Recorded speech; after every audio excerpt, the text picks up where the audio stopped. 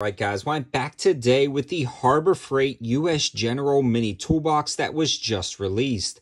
This has been much requested and suggested on the channel, so when I called over to Harbor Freight, they had three color variations in stock. I ran over, grabbed it, and paid full price, $17.99, but if you have a lot of those coupons, sometimes you can get some discounts, and I also noticed these are going to be on sale for Black Friday, but the Black Friday Harbor Freight deal will be posted posting soon, so subscribe to the channel so you don't miss that video. But with that being said, let's dig into this US General Mini Toolbox, and later on I will be doing a direct comparison video between this and the Kobalt Mini Toolbox that Lowe's offers. But for $18 right off the bat, the fit and finish is absolutely spectacular on this toolbox, and it feels like a much more expensive version of some other mini toolboxes I've tried, including the Kobalt.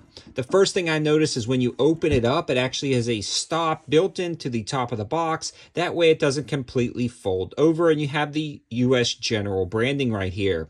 The other great thing about this toolbox is it includes this small kind of neoprene foam pad that is great, especially because a lot of guys are using these as EDC toolboxes for different types of knives, pens, flashlights, and that prevents things from scratching up, which is a great touch. And I'm super glad that that is included, especially at that price point of sub $20.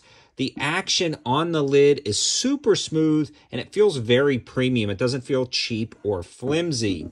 Now there are three color variations, so let's bring in the blue as well as the black and show you guys the drawers. The drawers themselves are super smooth and ride on actual rollers. When it gets close, it has either a magnet or a detent, I can't tell, that snaps the drawer in. I mean, this feels like a premium full-size toolbox. And again, you get the neoprene lining in there. So absolutely great action on the drawers.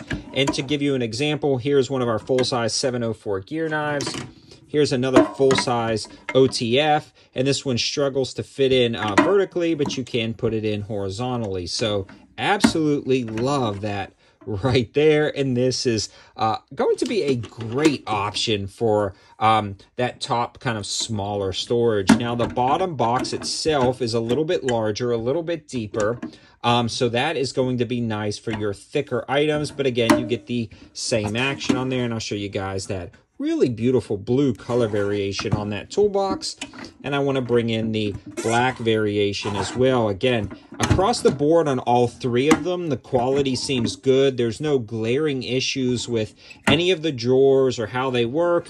And that top is really perfect. It doesn't kind of fold over. Even if you bump it, it's not going to close on your hand until you decide to close it. And then when you do, they even have these little inserts. Sorry, it's not focusing in. Those, in, those little inserts right there that are rubberized. So it doesn't have like a clanky noise to it. So every aspect of this box was well thought out, including those little rubber feet at the bottom, which is a nice touch. When you put them down on the table, you can pull the drawer and the toolbox doesn't slide around, which is incredibly convenient, especially when you have that on a desk.